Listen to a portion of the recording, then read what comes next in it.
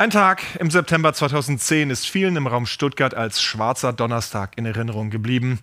Als Zehntausende gegen das Bauprojekt Stuttgart 21 demonstrierten und der Polizeieinsatz eskalierte. Mehr als 160 Menschen wurden verletzt, einer von ihnen verlor nahezu sein Augenlicht durch einen Wasserwerfer. Dennoch wurde und wird weiter gebaut. Eigentlich sollte das Projekt schon beendet sein, das aus einem Kopf einen Durchgangsbahnhof macht und das mit nur halb so vielen Gleisen den Zugverkehr schneller abwickeln soll. Martin Rottach war mittendrin auf der Dauerbaustelle in Stuttgart und ist der Frage nachgegangen, wann fährt denn nun der erste Zug ab am neuen Hauptbahnhof?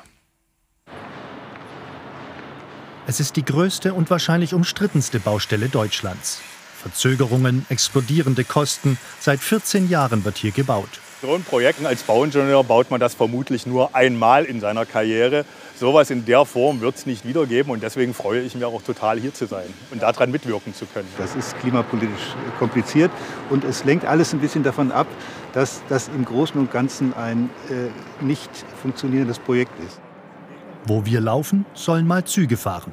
Marc Teilemann ist Projektleiter für den neuen Tiefbahnhof. Er ist von Anfang an dabei. Zweimal pro Woche kontrolliert er die Baustelle. Zeilermann, Servus.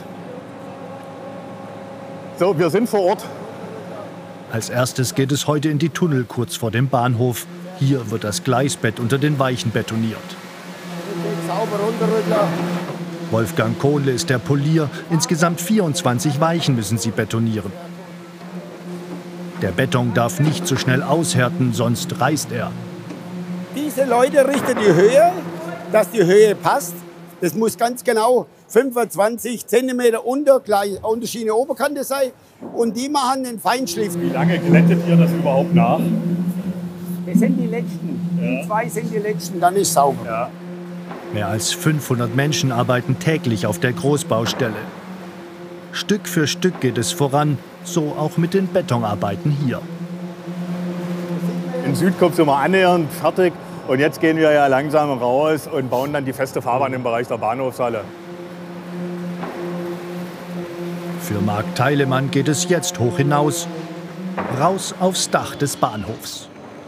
28 Lichtaugen bekommen hier gerade ihr Stahlgerüst. Die Schwierigkeit hier ist dabei, das so zusammenzufügen, dass es dann in der tatsächlichen Position ist. Denn wir sagen ja auch im Stahlbau haben wir Millimetertoleranzen. Das heißt, zum Schluss muss es so zusammensitzen, dass sämtliche Leiterelemente dann so eng zusammenliegen, dass man die zusammenschweißen kann. Nach einigem Hin und Her sitzt das Stahlgerüst endlich so, wie es sein soll. Der ursprüngliche Eröffnungstermin für den neuen Durchgangsbahnhof 2019. Die Kosten liegen derzeit bei knapp 11,5 Milliarden Euro, mehr als viermal so viel wie einst geplant. Der alte Kopfbahnhof hat 16 Gleise, der neue soll nur acht haben.